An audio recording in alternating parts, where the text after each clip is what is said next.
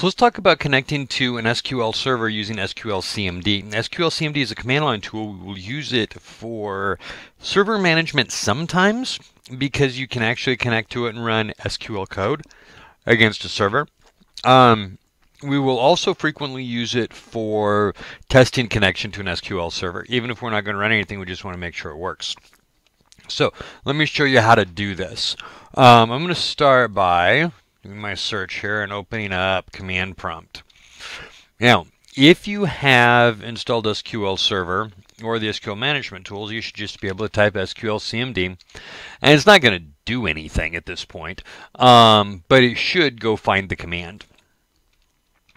I'm control C to cancel that connection because it's trying to create a connection to nowhere at the moment.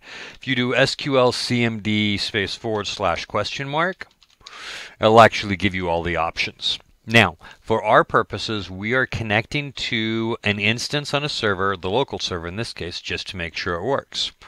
And so here's what our command is going to be, SQL CMD. Now there are two options we're going to need, dash E and dash S. Both of these have to be capitalized. this command is case sensitive, at least with those two options.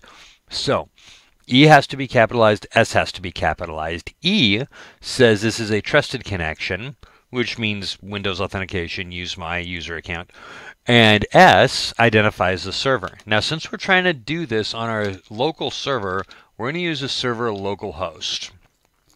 And then if it was a, if I had a default instance, that would be all that I would need.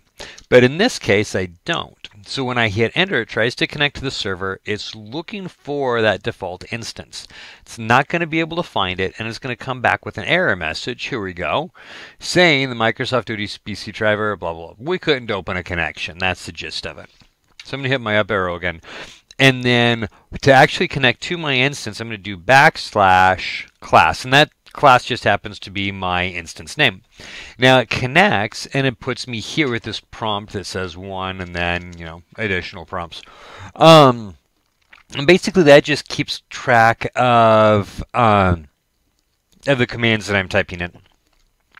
But at this point, I could go ahead and I could run different SQL code against the server if I wanted to, or I can just exit out because I know that my SQL server is working and I have successfully connected to it.